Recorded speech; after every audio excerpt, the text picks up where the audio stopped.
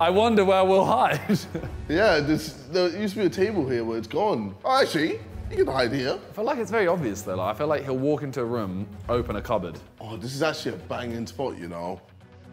How? I wish we had paper with pens. I'd leave notes around like, "Hey, you idiot. We're not here.